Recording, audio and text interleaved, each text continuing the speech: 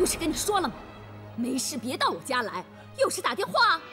帮主，我实在是着急了，给您这儿打电话又一直没人接，我还以为我出去办事了。怎么，你以为我会发生意外？啊，不是不是，我知道帮主办事滴水不漏，不会出什么意外的。快说，有什么事那么着急？说完赶快走。小九子不见了。自从巡捕房的老唐被抓以后，我就让小九子躲一躲。我跟他约好，每隔一天就跟我通一次电话。可是他已经三天没来电话了。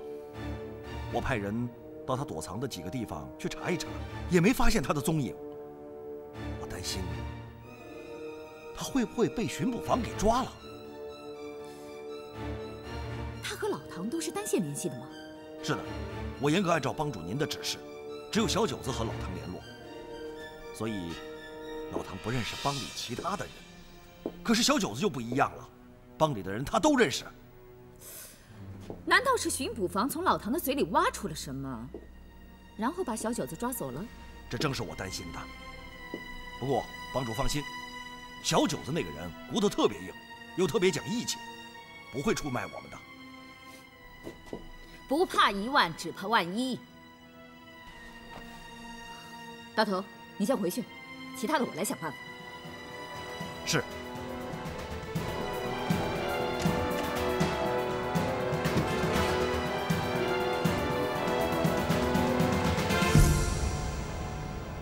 姓韦的，算你胆子大！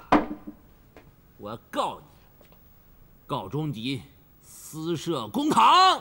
你要出得去，你就去告，就怕你出不了这个门。你们抓我干什么？我已经说过了，我什么都不知道。最后再问你一次，李海定、吴建飞是不是江北帮的人？为什么要杀何宇豪？我已经跟你们说过了，我不认识什么何宇豪，我跟他一点关系都没有。江北帮的帮主是谁？呸！你烦不烦人啊？你们就当我跟门外那个人一样是个哑巴好了。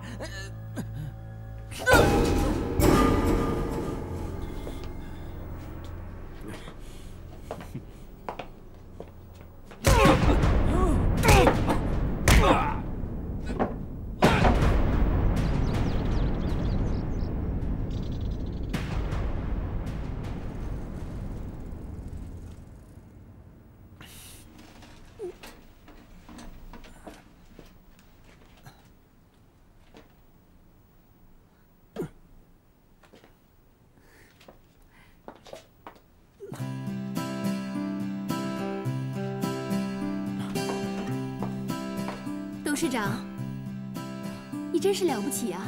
你果然是说到做到的人，终于可以自己站起来了。现在还不行，只能站不能走，只能说是刚刚离开轮椅，我必须加紧练习啊。哦，对了，我今天来是跟你汇报的。杰克里果然是个守信用的人，而且第一笔款已经到账了。那好啊，我们就照计划去办吧。嗯。哦，还有有关于公司廉价部的事情，怎么了？进展不顺利吗？当然不是，进展得很顺利。你的计划确实可行，而且成本很低。现在进行到哪步了？你看，改建工程已经初步完成了。按照你的计划，这里后面这面墙已经被打开了，然后在后面的空地上搭了一个棚，用木板隔成一间一间的铺面。而且设计师很巧妙地把这些廉价布和之前的百货公司连成了一个整体。长贵啊，哎，一会儿你马上就要去订鲜花。记着，一定要订到何小姐最喜欢的白百合，一定要买到啊！哦，好。哦，阿丽，你去把我新买那套衣服拿出来，整理好，明天我要用。是，小姐。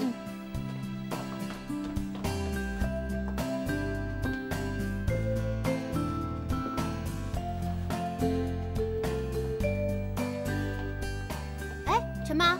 哎，小姐，我在大三元订了一桌酒菜，你明天打电话过去确认，让他们多带一个大师傅过来。因为有些热菜是要现炒的，还有要多带一些人过来伺候，这样可以方便一点。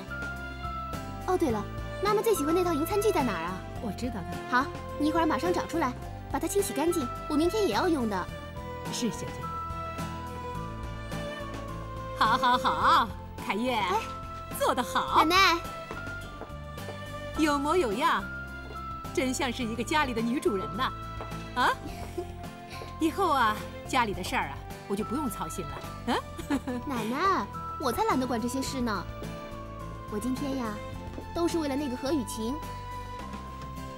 我想把欢迎她回家的 party 搞得漂漂亮亮的。凯越，好孩子，你有这份宽容心，奶奶真是太高兴了。看来你是准备叫她姐姐了，奶奶。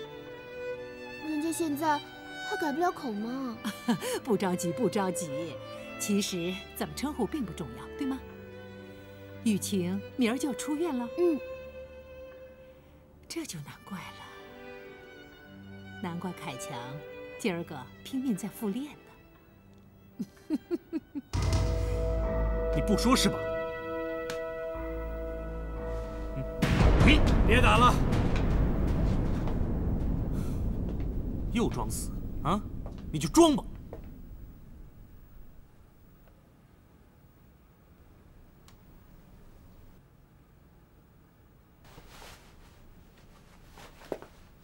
看着我，今天先到这里。你可以在床上躺着。小九子，我告诉你，如果你这么硬撑着不说，倒霉的只能是自己。我这么对待你，是客气的。如果我把你送到巡捕房，巡捕房东西醒了，没有撬不开的嘴。你心里比我清楚，对吧？阿文，你懂买药吗？啊。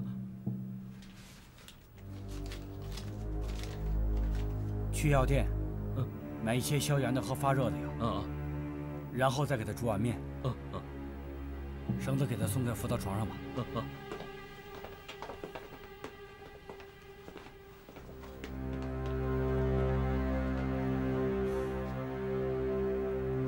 这个小九子很硬气，来硬的不行。那怎么办？他几天了，一句话都不说，也不能老这么关着呀。我想想。哦，对了，你说那个老杨跟小九子是同乡，让老杨过来劝劝他。对，我怎么没想到呢？我马上打电话，让老佣人陪着老杨来上海。最后这个办法再试试，如果还不行，交给巡捕房吧。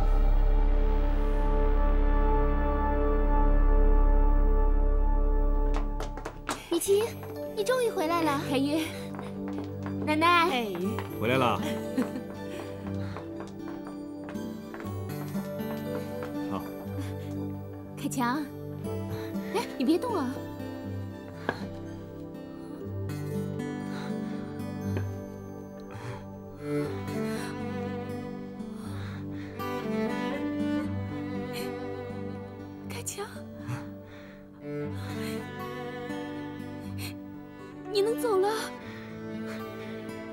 前两天还离不开双拐呢，知道你今天出院啊，特意叫凯越买了这根拐杖。我太高兴了，凯强，你终于能走路了。别哭啊，别哭。雨晴，这是送给你的礼物，恭喜你出院，谢谢啊。凯越，你太不像话了吧？你偷偷给雨晴准备了礼物，都不提醒我一声啊！我就是不要告诉你呢。奶奶，嗯，哎，等一下，我让人给你去买啊。哎，不用，你能站起来，就是你给我最好的礼物。雨晴，我能够恢复到今天，全靠你。你知道吗？我最大的愿望，就是能够让你第一个看到，我凭自己的努力站起来走路了。太强，你相信吗？我一直知道你是个勇敢的人。你说过，你能够站起来走路，就一定能够站起来走路的。我从来没有怀疑过。雨清，我还要谢谢你，在我最绝望的时候，是你扶了我一把。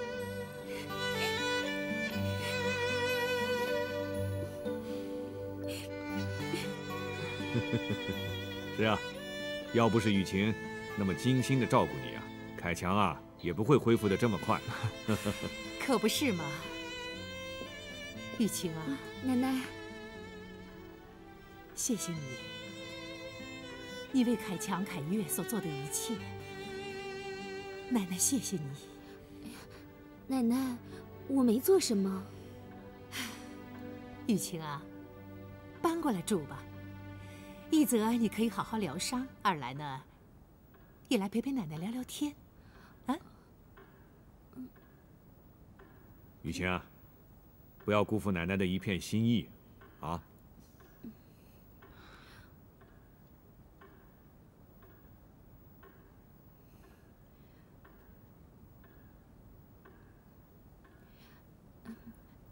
那好吧，谢谢奶奶。这就对了嘛。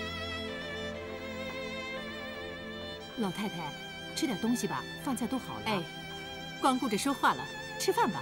啊，嗯。那我就去了。哎哎。来，凯强。凯强，嗯，云云怎么没来啊？我叫凯越给他打电话了，他说他有事来不了。我知道，他其实是在回避我。你应该亲自去找他。他这么做都是为了你啊！我当然知道，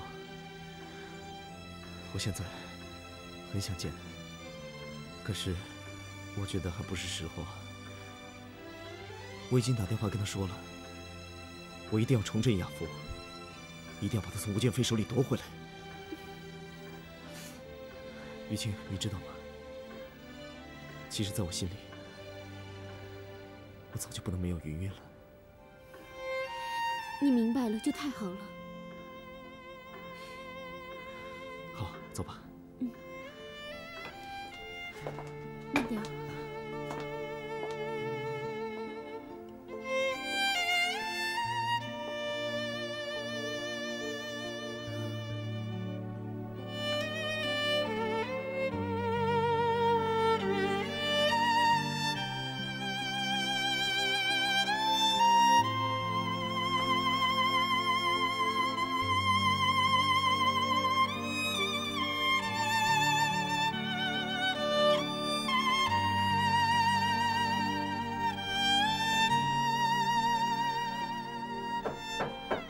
谁啊？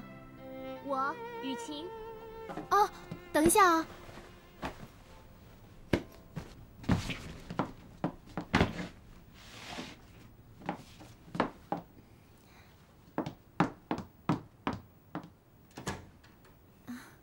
还没睡呢，我正准备睡呢。进来。怎么这么晚了还不休息啊？你伤口刚刚好。要多注意休息啊！我睡不着，想过来跟你聊聊天今天，谢谢你啊。好了好了，来，你呀，谢谢谢谢的，不知道说了多少次了。你再多说一次，连上帝听了都烦了。有那么严重吗？凯越，我跟你爸爸要求了，让他放伟康几天假，叫他带你去杭州玩玩。现在这个季节去西湖啊，最合适了。你看你又替我操心了，不是？你有空多想想自己的伤口也好啊。凯越，我看到你们俩我都着急呀。你呀就主动一点，你跟伟康说你要去杭州玩，让他带你去啊。有时间再说吧。现在我先扶你回房间，你要早点休息，伤口刚刚好，早点休息好的更快。来。我来扶你，凯越，来呀，走吧。我跟你说的，你可别忘了。别替我操心了，你就是这个样子。行了，你就别送了，你也早点休息啊。好吧，你也早点睡啊。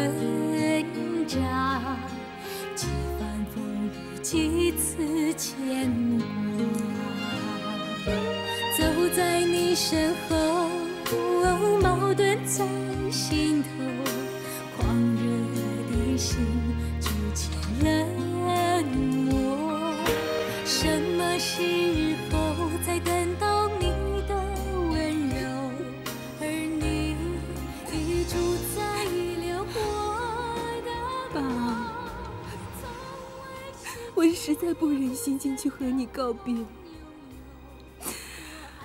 我一走，妈妈又不在了，就只剩下你自己了。爸，我让你为我操了好多心，我对不起你，爸。你知道吗？我是那么那么的爱你，爸。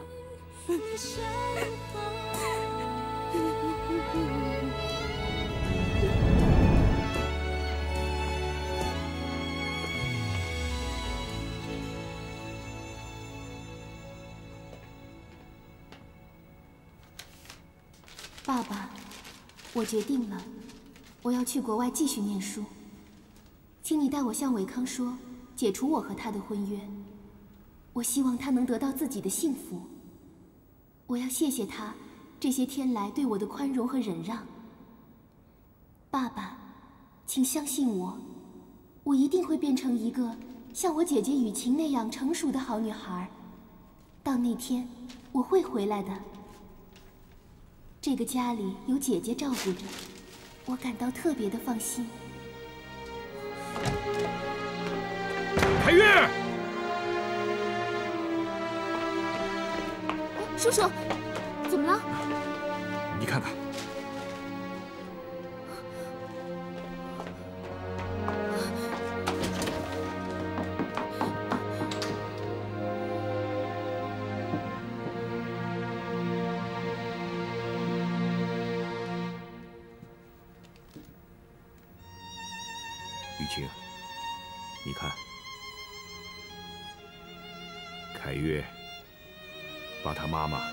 三个人合影拿走了。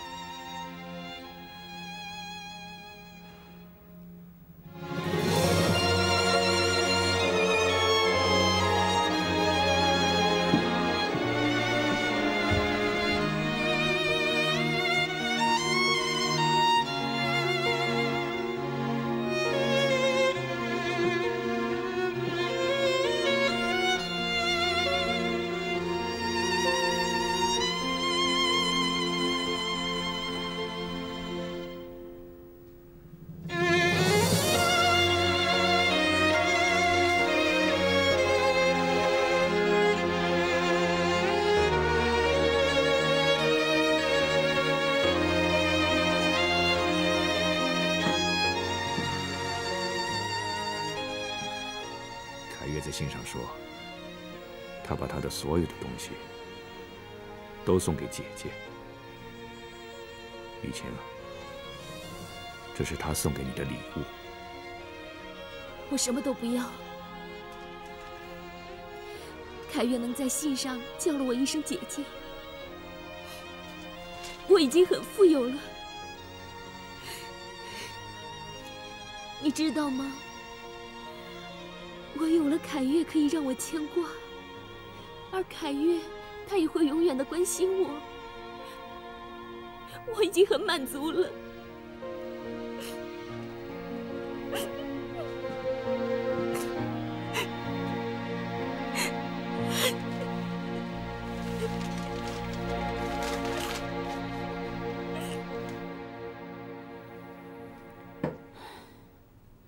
这个钟凯强还真是有本事，竟然搞起了一个什么百货公司廉价部。哎妈，你听说了没有？他们明天就要剪彩开业了。我听说了。哼，他们还故意给我们宁通公司发了请柬，这不是摆明在我们宁通公司面前耍威风吗？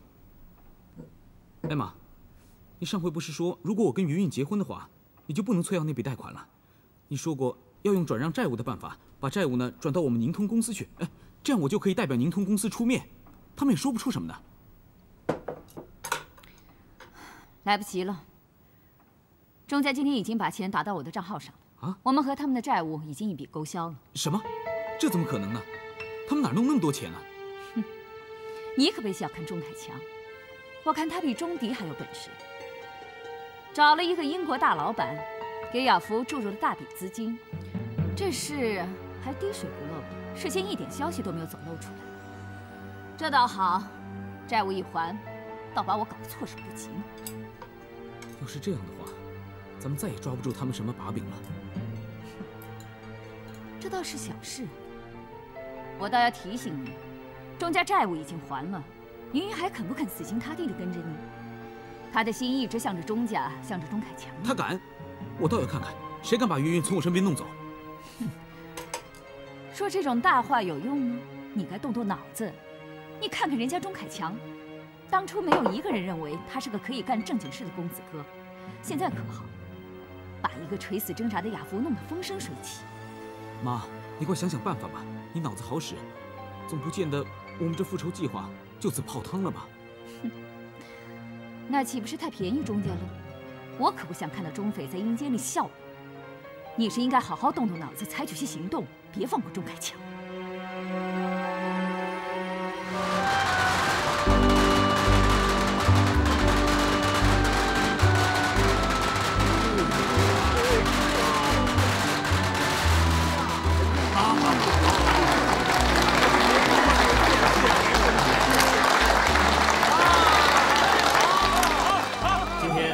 廉价部的开张意味着我们雅福百货的扩展计划已经成功的迈出了一大步，也意味着我们雅福企业重新进入了一个崭新的发展阶段。我希望我们公司的全体员工能够同心协力，把我们的雅福企业办得越来越出色。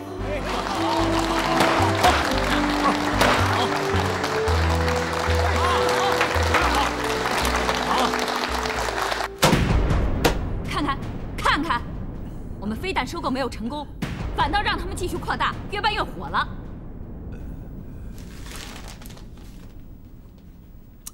真没想到，突然冒出一个什么杰克里来，让钟凯强占了个大便宜。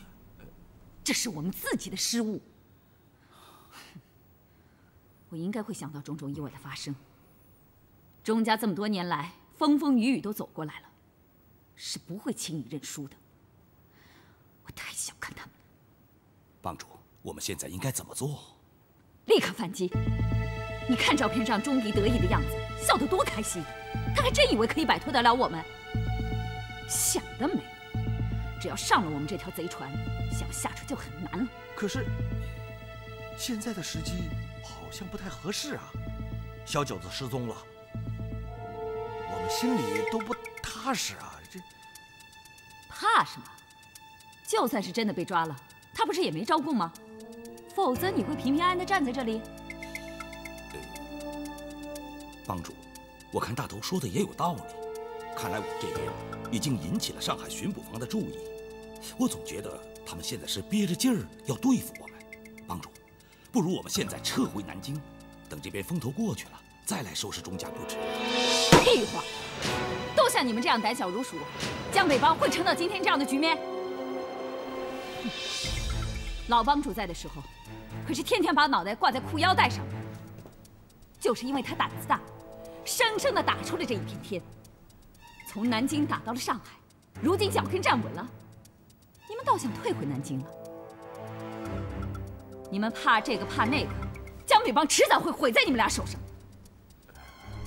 巡捕房有什么了不起？我们干了这么多的坏事，他们有对我们怎么样吗？有吗？你们俩倒是说话呀！如果你们不敢动钟家，我就另外找人。帮主，您说的对，我们一切都听您的。哼这就对了。我不是一个不看状况贸然行动的人，是必须压一压亚夫的锐气，否则这条大鱼真的会从我们手中溜走。你们放心，这次巡捕房绝对抓不到我们的把柄。我们又不是去杀人，只不过是给钟家一点教训，让他们不敢再把我们江北帮扔在一边。好，帮主，你说，我们该怎么做呢？很简单，就从那个新的廉价部做起。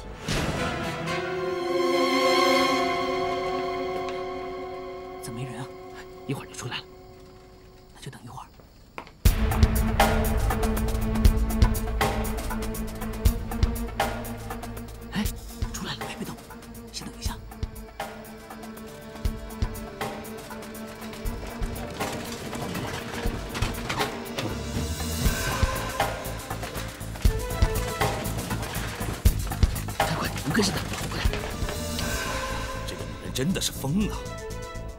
算是看明白了，我们江北帮成了他报复钟家的工具。哎呀，可是不听他的又不行。南京帮会的那些人，对帮主的意见是越来越大，我都有点压不住了。看来这件事办成之后，我们得好好想想今后该怎么做了。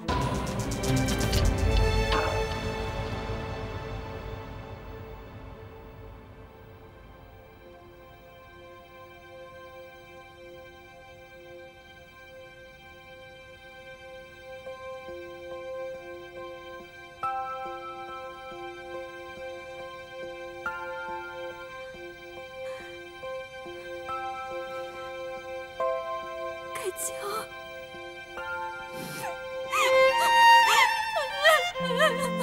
开枪！开枪，你真的已经好了？还没有完全好，不过一天比一天强，很快就可以恢复到以前的样子了。说不准，比以前还要强壮呢。祝贺你，凯强，身体复原了，百货公司的廉价部也重新开张了，我真替你感到高兴。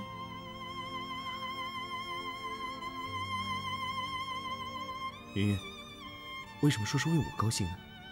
应该是为我们两个人高兴才对啊！你知道吗？我身边发生的每一件事，无论是喜是悲，都和你紧紧联系在一起，因为你是我的妻子。开枪。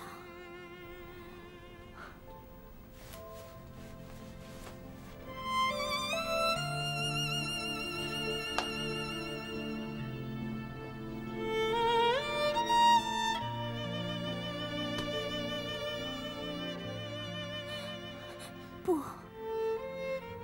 云云，我发过誓了，只要我能够站起来走路，只要养父的生意能够回到正轨，我就会娶你。不，开枪。云云，你听我说，经历了这么多事情，我终于想明白了，我真的很爱你，我的心里早就放不下你了。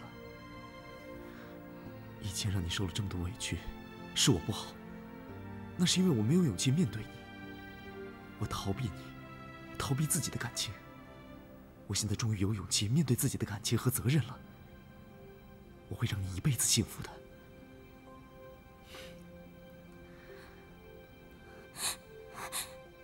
不行的，开枪，我真的不能。我已经答应建飞了。云云，我知道你答应吴建飞和他结婚，可是他应该很清楚，你是被迫的。这事你放心，我会找他好好谈一谈。如果他还有半点人性的话，我相信他会放过你。不，开枪，你别这样，我真的不能。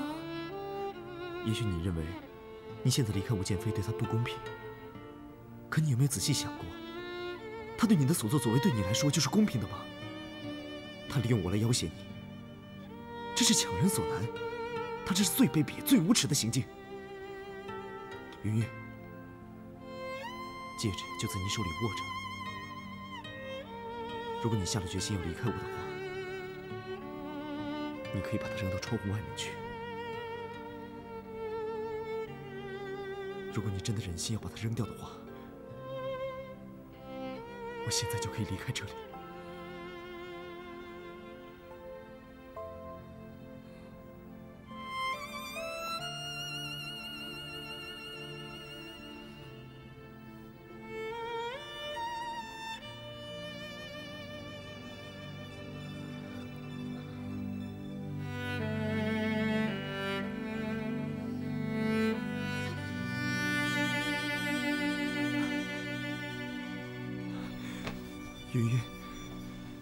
答应我了，你不会离开我了，对吗？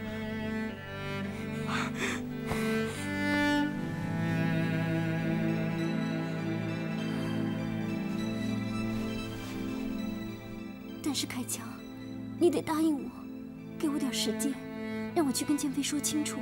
你千万别去找他，好吗？云云，我不放心啊，他这种人什么事都干得出来啊！你看他对雨晴还有凯越都动了枪。我对他还是了解的，不管他对别人怎么样，他对我是不会的。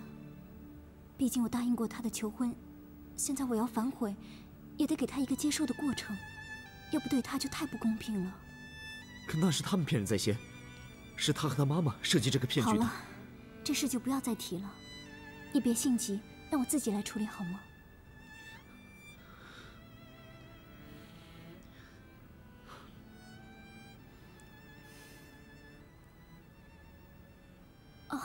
对了，我有样东西要让你试试。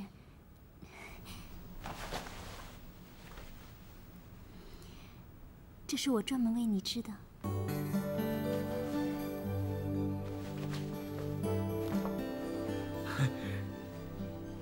真是太好了，云云，我都不知道你在替我织毛衣。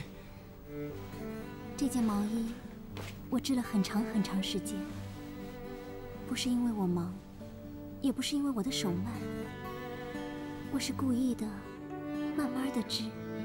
我每拉动一根绒线，每织一针，我就把自己对你的感情，慢慢的都编织进去。我就这样慢慢的。一针一针的织，让我重温着、体味着我对你的感情。你不会笑我傻吧？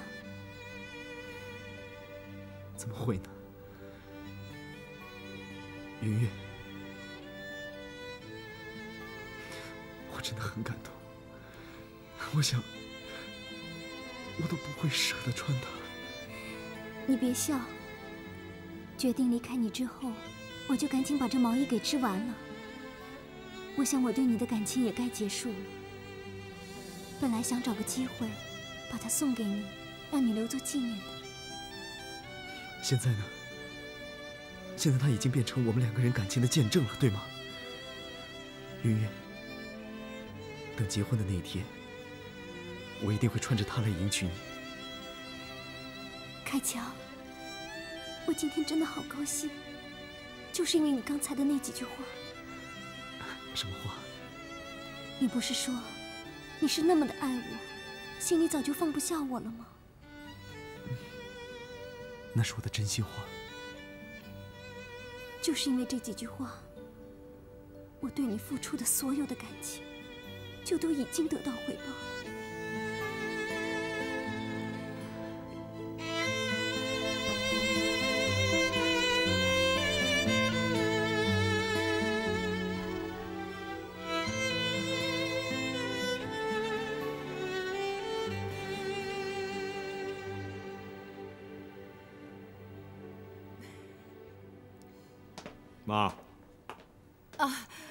阿迪呀、凯越来信了，他说他已经安顿好了，马上就要回学校念书了。是吗？给我看看。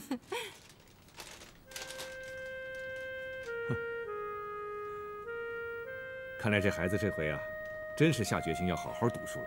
可不，这孩子啊变得懂事多了。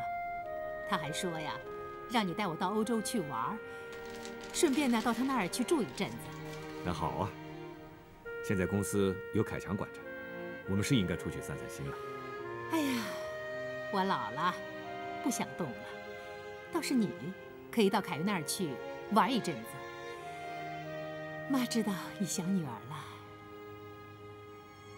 好几个晚上，我都看你一个人坐在凯越的屋里发呆。嗯，阿迪呀、认真的考虑一下这个问题吧。我知道星河在世的时候，你们曾经有个计划。现在星河走了，你就一个人替他实现这个愿望吧。把公司的事儿都交给凯强，轻轻松松的去陪陪女儿。嗯，我考虑一下。其实公司的事，我现在也不用担心了，债也还清了，公司的业务发展也很快。凯强当这个董事长，还是蛮称职的。是吗？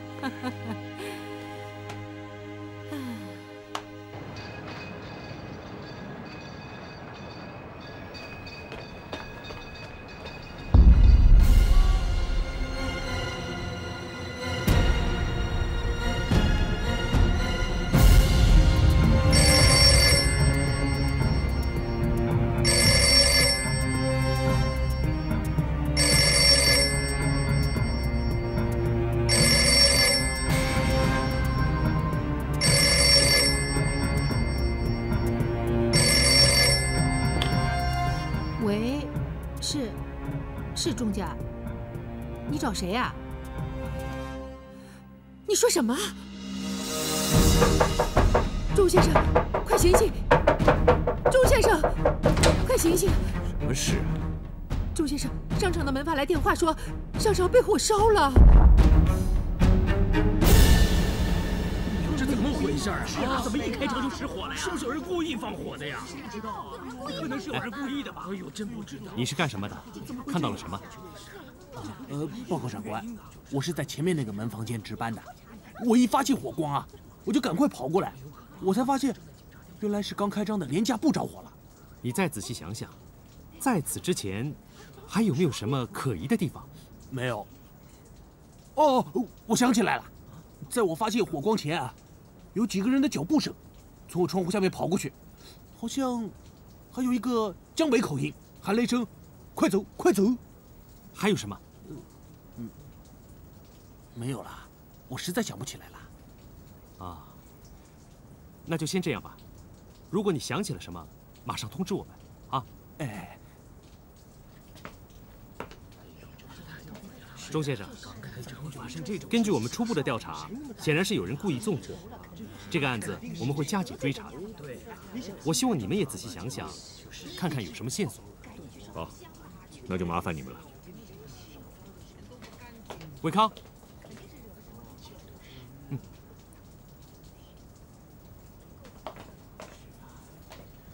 我怀疑这件事跟江北帮有关。刚才那门房说，听见有人用江北口音说话。还有件事很奇怪，我不是派人去监视宁通公司吗？他们看见林雅茹去了宁通公司。林雅茹去宁通公司，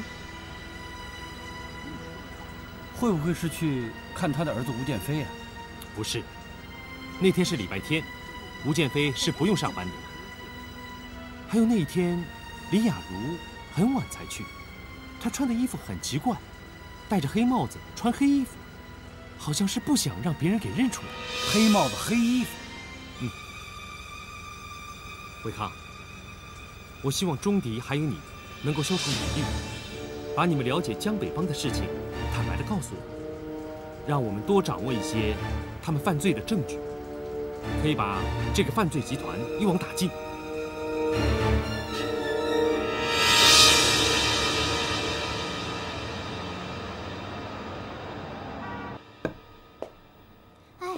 倒霉！好不容易商场刚开张，偏偏又碰上这样的事情。在座的每个人都知道，在有限的资金下，为了建设这个廉价部商场，董事长不知道动了多少脑筋。